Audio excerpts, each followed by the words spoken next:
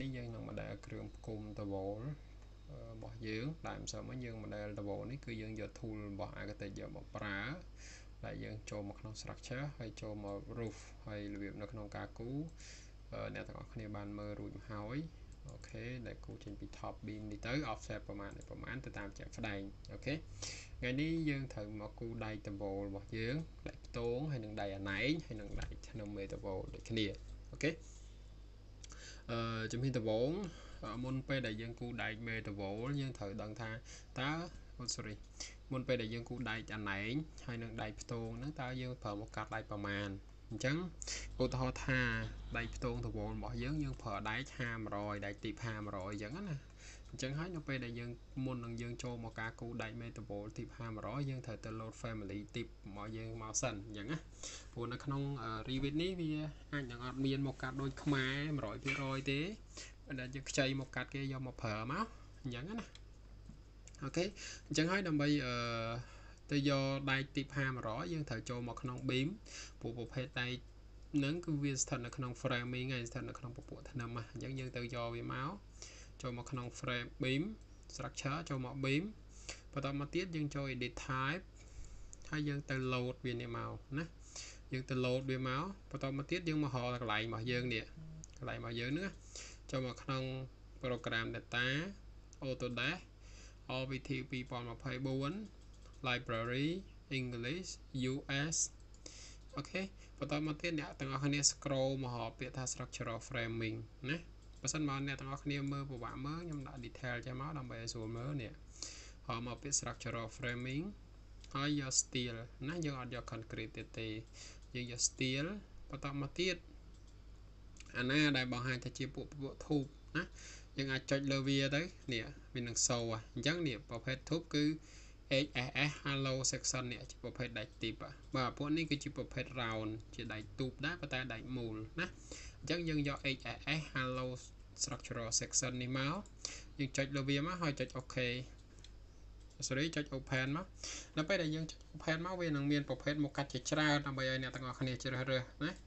អញ្ចឹងអ្នកទាំងអស់គ្នា select មកកាត់ណាមួយដែលអ្នកទាំងអស់គ្នាយកមកប្រើឧទាហរណ៍ថាអ្នកទាំងអស់គ្នាប្រើដៃទី500អញ្ចឹងអ្នកទាំងអស់គ្នា scroll មកក្រោមមករហូតមកវានឹងឃើញមានដែកមួយគឺទី500នេះអានេះទី5 ទីទីនេះ101ហើយនឹងគុណនឹង5អញ្ចឹងអ្នកទាំងអស់គ្នាខ្ចីឲ្យមួយណាយកមកប្រើក៏បានដែរឧទាហរណ៍ថាខ្ញុំយកអាក្របគេនេះយកមកចោះអញ្ចឹងខ្ញុំចុចអូខេមកហើយខ្ញុំបានមកកាត់នឹងមកហើយអញ្ចឹងអ្នកទាំងអស់គ្នាត្រូវទៅ modify វាឧទាហរណ៍ខ្ញុំ rename ខ្ញុំប្រើទូក50គុណ100កម្រាស់មកវាខ្ញុំប្រើ2លី4ចាស់OK ចឹងខ្ញុំ OK នេះកម្ពស់របស់វាគឺ100 OK B របស់យើងគឺ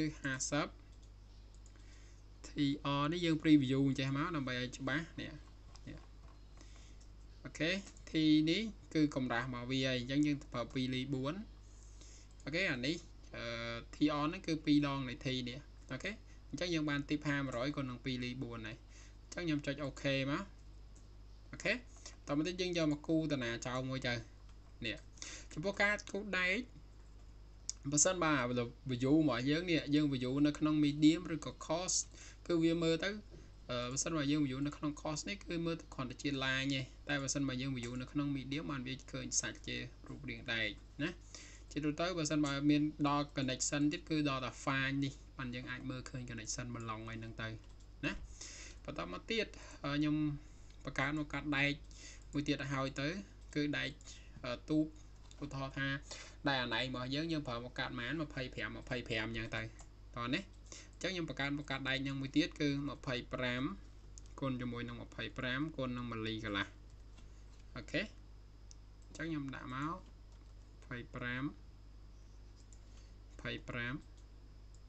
1.5ណា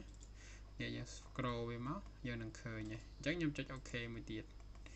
ខេហើយខ្ញុំគូតាណាចោលមួយទៀតហើយខ្ញុំលុបវាចោលវិញមកហើយរបៀបក្នុងការគូដបូលអ្នកទាំងអស់គ្នាចូលមកក្នុង 3D ដើម្បីគូដបូលដែកយ៉ាងស្រួលច្រើនគឺខ្ញុំតែងតែប្រើក្នុងប្លង់ 3D បែបនេះណាខ្ញុំចុចអឺដបូលហ្នឹងមកអូខេហើយខ្ញុំអាចសូតែវាតែមួយទេបើសិនមកអ្នកទាំងអស់គ្នាចង់សូតែវាតែមួយនេះអ្នកទាំងអស់គ្នាចុចមកក្រុម meta នេះហើយ isolate element ណាមានន័យថា អ្នកទាំងអស់គ្នាចង់ឲ្យឃើញតែ table នឹងមួយឯនេះឃើញទេនេះប៉ុន្តែបើយើងចង់ចាំ comment វាអឺខ្ញុំសុំទោសហាស់អាចត្រឡប់មកវិញហើយខ្ញុំ select លើវាហើយខ្ញុំចុចហាស់ស្គីអូហើយបើសិនបើអ្នកទាំងអស់គ្នាចង់ចាំ comment ដោយប្រើដៃអ្នកទាំងអស់គ្នាវាយ comment ហាស់អាយនេះខ្ញុំវាយណា ហាស់អាយ HI ច្រឡំ high នេះបើណែថាយើងត្រូវ select អា element ណាមួយមកហើយយើងវាយ comment ហាស់អាយមកយើងសូតែអានឹងតែមួយឯងបើសិនបើអ្នកទាំងអស់គ្នាចង់ឲ្យវាត្រឡប់មកវិញទាំងអស់អ្នកទាំងអស់គ្នាវាយ comment ហាស់ air ណានេះឥឡូវខ្ញុំវាយហាស់ air ហើយវាត្រឡប់មកវិញទាំងអស់ណា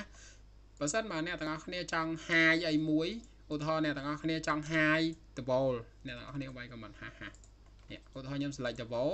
ហើយខ្ញុំវាយហាស់ហាស់មកវា high double នឹងទៅបាត់ហើយចង់ឲ្យវាមកវិញទាំងអស់ហា air មកវាមកវិញហើយតោះនេះកន្លែងហ្នឹង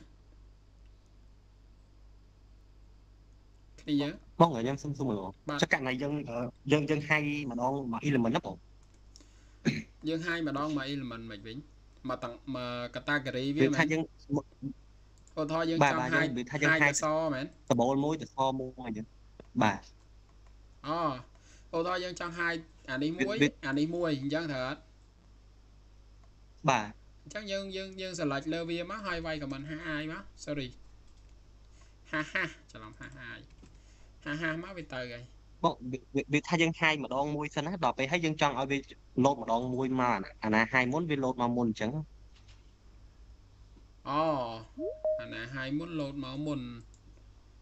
សុំខ្ញុំអត់សូវយល់សំណួរសុំម្ដងទៀត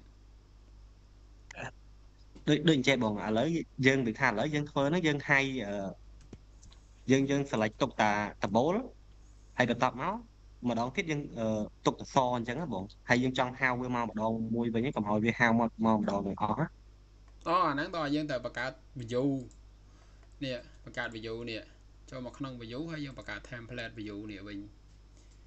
អាហ្នឹងនៅពេលដែលយើងរៀបប្លង់គឺយើងនឹងប្រើអាហ្នឹងហើយឧទាហរណ៍ថា ខ្ញុំចង់ create view មួយខ្ញុំថា view មួយហ្នឹងខ្ញុំសូតែ double ទេខ្ញុំសូតែ row ទេអូខេអញ្ចឹងកន្លែង visibility នេះយើងដកចោលទាំងអស់មកអាណាដែលជា column អាណាដែលជា beam អីយើងដកវាចោលណានេះ framing ដកអីយ៉ាងទៅណាដកដក framing ដក floor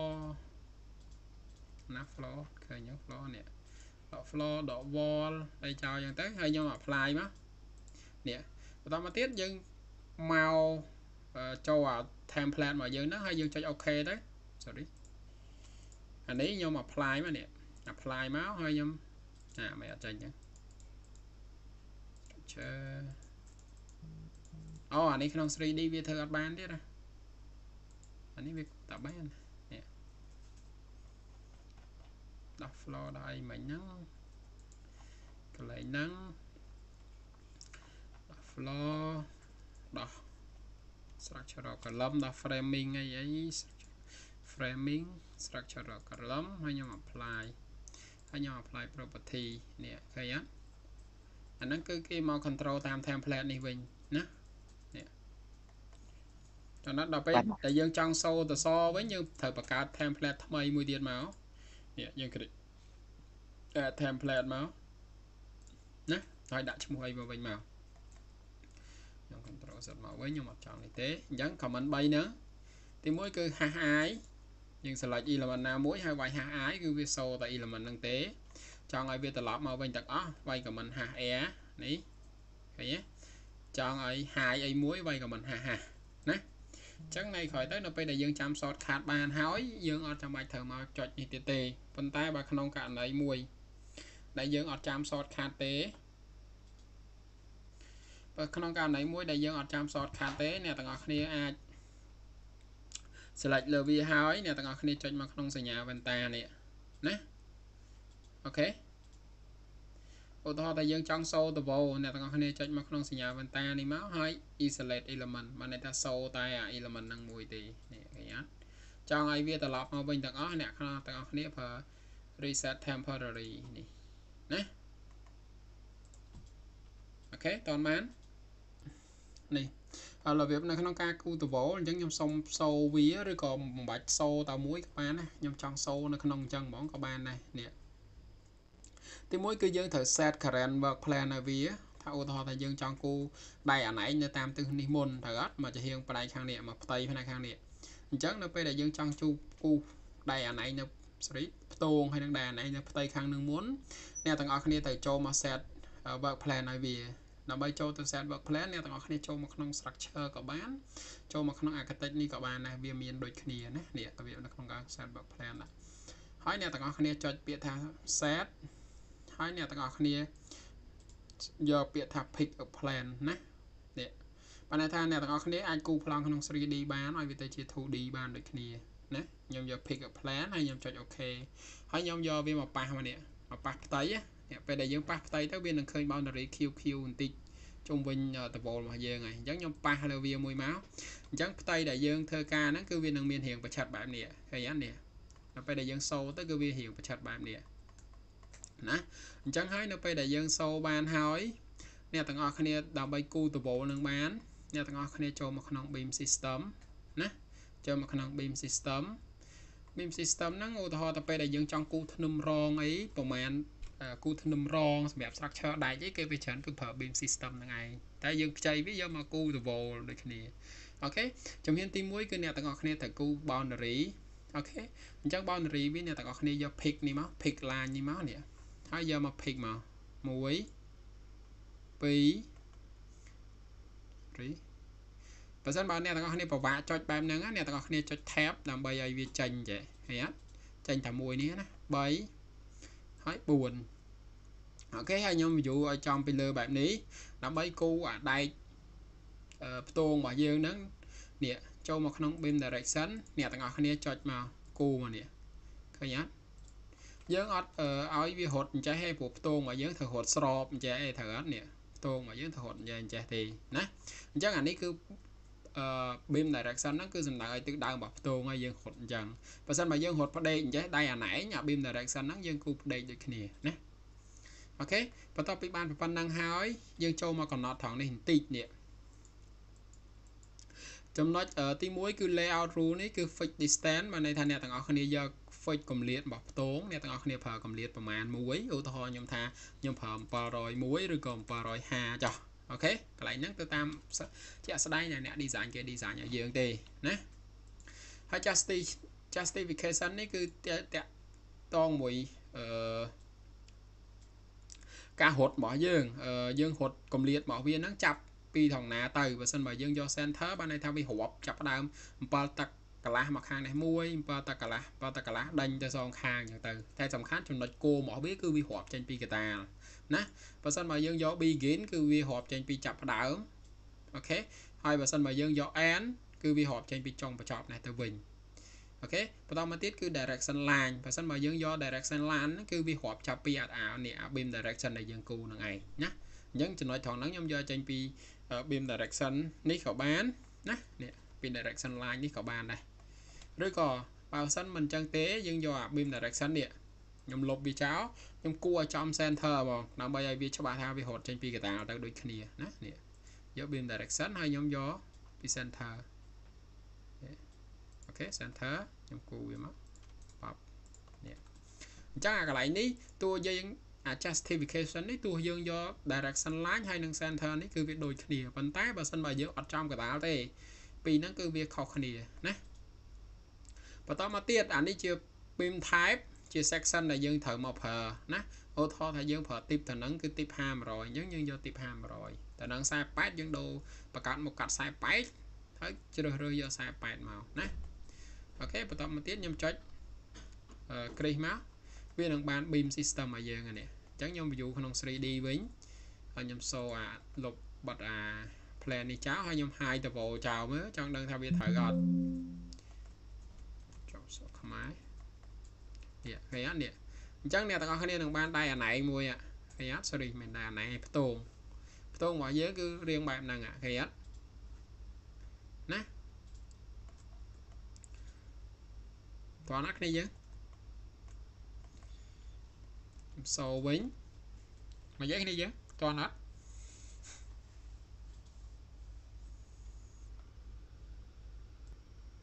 អូខ្ញុំអត់បាន reason ផងមិញ អត់អីអានេះគូដូចគ្នាអូខេចំពោះកន្លែងនេះក៏ដូចគ្នាដែរមុនពេលដែលអ្នកទាំងអស់គ្នាគូអ្នកទាំងអស់គ្នាចុច set work plan ហ្នឹងមកនេះឬក៏បើសិនបើយើងអត់ចង់ set ឲ្យហើយទេក៏បានយើងចូលមក beam system មកចាំយើង set តាមក្រោយក៏បានដែរនេះឃើញអត់យក pick មកហើយអ្នកទាំងអស់គ្នា pick លើហ្នឹងមកហើយកន្លែងនេះ boundary របស់វានេះ pick boundary យើង pick មក1 2 3 ខ្ញុំ tab វាមក4 5 6 7 8ខ្ញុំមើលចំពីលើហើយ beam direction វាខ្ញុំយកមកគូមកនេះចេញពីអានេះមកតោះនេះបើសិនអ្នកទាំងអស់គ្នាយកចេញពី center មកអាដែកនេះអាដែកតំណងនេះគឺវាអត់ចំស៊ីគ្នាទេណាកន្លែងហ្នឹងគឺយើងត្រូវ ចេះឆ្លាតគឺយើងយកអា direction line ហ្នឹងមកហើយធៀបចេញពីចំណុចណាមួយមកប៉ុន្តែតើនឹងវាអាស្រ័យលើមុំដបោទៀតមុំដបោខ្លះក៏វានៅតែអត់ស៊ីគ្នាតដែរកន្លែងហ្នឹងអូខេ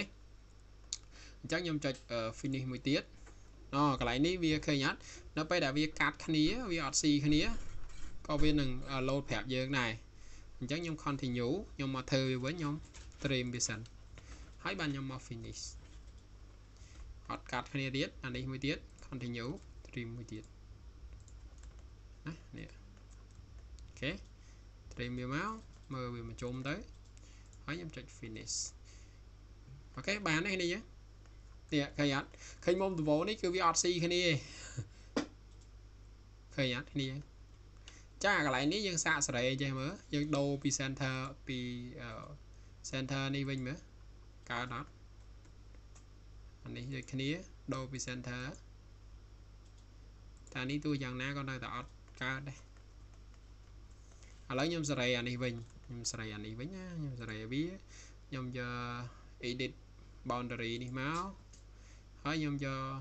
នេះ beam direction ខ្ញុំយកមក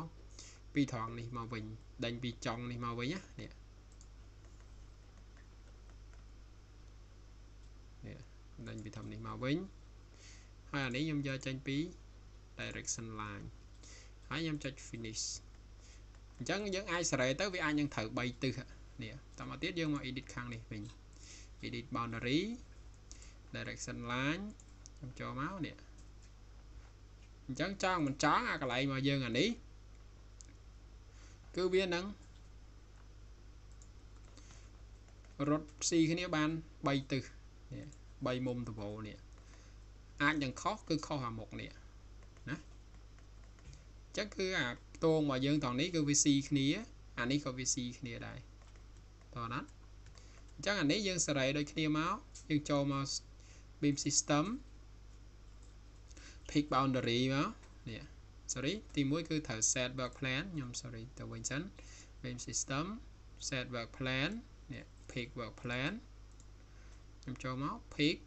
ហើយខ្ញុំចាប់ដើម pick boundary 1 2 5 6 7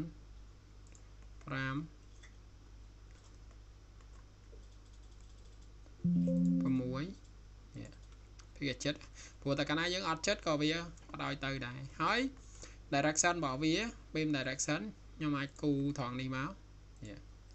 ខ្ញុំថាខ្ញុំគូត្រង់ណា ដែលអាចមានភាគរយដែលវាស៊ីគ្នាដែរខ្ញុំគូចេញពីធំនេះទៅនេះអូខេ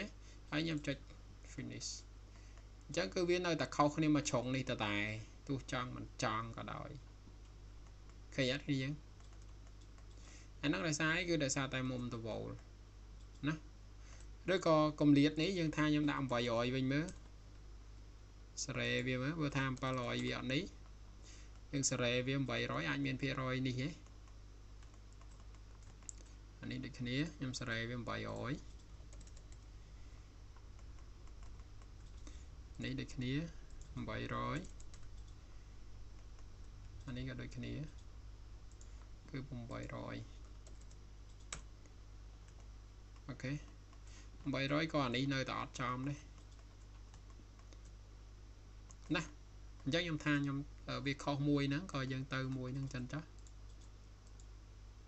300អានេះហ្មង300 800 800ទាំងអស់ហើយអញ្ចឹងហើយយើងទៅវាសិនអញ្ចឹងទៅ អូខេនេះអញ្ចឹងបើសិនមកយើងមកមើល 3D នេះយើងមកមើល 3D គឺវាបានចេះឃើញអត់ប៉ុន្តែខ្ញុំ select លើវាទាំងអស់មក select visibility in view នេះបើយើង select គ្រប់ដែកផ្ទងរបស់យើងហ្នឹងហើយអា justification នេះខ្ញុំយក bottom ខ្ញុំយក bottom ខ្ញុំអត់យក top ទេអូហូឆ្ងាយហា sorry យើងមិនដោយសារយើងអាមុំនោះយើងគូវានៅ top មកកម្រាស់100ហើយយើងខ្ញុំសុំ change វិញខ្ញុំយកវា top មកវិញមកនេះ top មកវាអាចនឹងនៅចិត្តអញ្ចឹងយើងត្រឡប់ទៅយើងអាចនឹងកែអានេះកែអាកម្ពស់នេះបន្តិចទៀតបើសិនមកយើងមកមើលប្លង់របស់យើងនេះយើងមកមើលអានេះទៅ flip ណា go to view នេះ ឃើញអាផ្ទងរបស់យើងវាស៊ីគ្នានៅ sorry ខ្ញុំបើក file ខ្ញុំសុំ hide អានេះចោលខ្ញុំទុកតាផ្ទងទៅបានហើយ hide element នេះនេះផ្ទងរបស់យើងគឺវាស៊ីហើយត្រូវប៉ុន្តែអ្វីដែលនៅស្ទើរគឺមុំដបូលរបស់យើងនេះអញ្ចឹងអាមុំដបូលហ្នឹងគឺពីប្រវែងនេះទៅដល់នេះនេះ160ទៀតត្រូវអត់ sorry មិន160ទេវាចូល180ហើយអញ្ចឹងខ្ញុំអាចចូលមកក្នុង 3D របស់ខ្ញុំ ខ្ញុំ select អាពួកនេះទាំងអស់នេះអក្សរ3ដើមនេះ top offset វាខ្ញុំ offset វាទៅលើ180អូខេហើយអានេះដូចគ្នាខ្ញុំ offset វាទៅលើ180ដែរណាអញ្ចឹងគឺកន្លែងហ្នឹងគឺវានឹងស៊ីគ្នានេះនេះហើយចំពោះ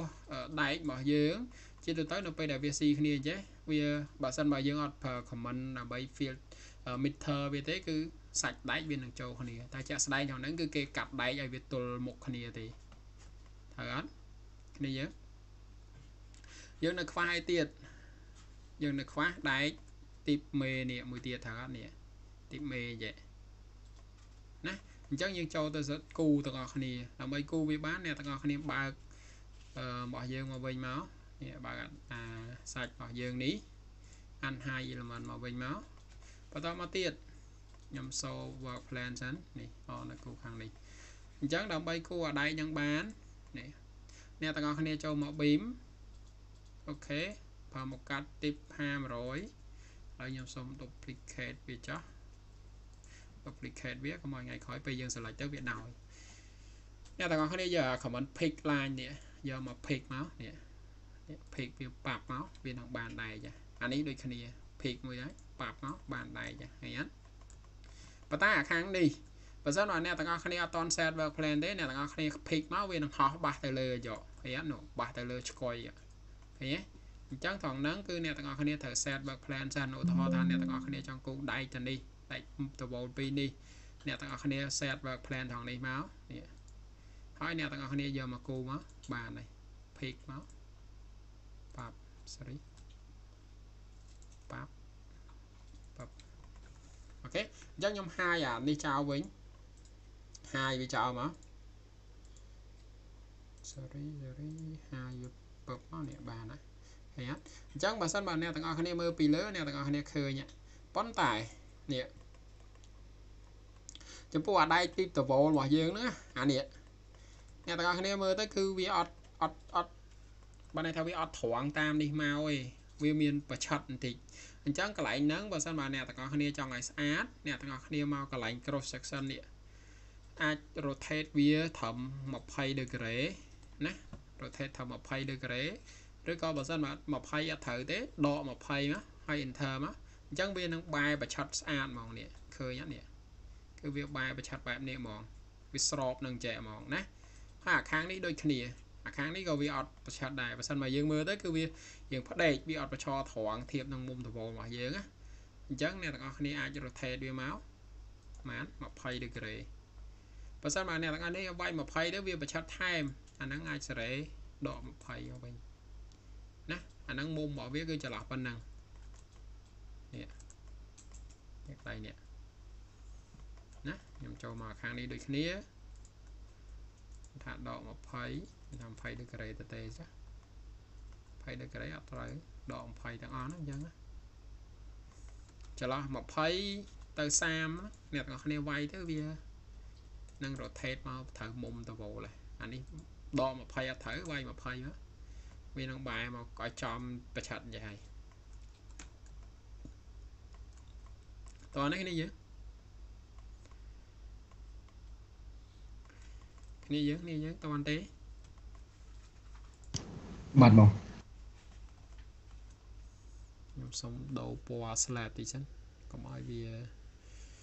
អឺនៅនេះអញ្ចឹងមើលទៅរៀងពិបាកមើលតិច floor គេនេះខ្ញុំសុំដូរពណ៌វិញខ្ញុំដាក់ថាពណ៌នេះចាស់គេដាក់ពណ៌នេះមកទៅឲ្យដាច់ មកទៅកុំឲ្យវានៅអូខេនេះបើសិនមកយើងមើលទៅគឺវាឃើញអញ្ចឹងហើយ